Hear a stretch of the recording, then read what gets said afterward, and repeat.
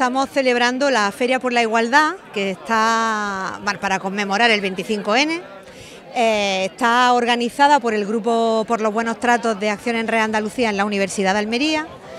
y eh, está en el marco de una acción de prevención de violencia sexista que promociona Acción en Red Andalucía que se llama Por los Buenos Tratos, programa Por los Buenos Tratos. Estamos movilizando a más de 150 estudiantes de trabajo social, de psicología y de humanidades y también de ciencias de la educación para eh, hacer una actividad que al fin y al cabo de lo que se trata es de que de manera lúdica el alumnado traslade y divulgue eh, valores para prevenir eh, relaciones violentas, relaciones interpersonales violentas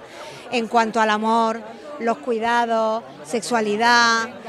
diversidad sexual, resolución de conflictos y bueno, están, nos están dejando alucinadas la verdad, la creatividad y la mucha participación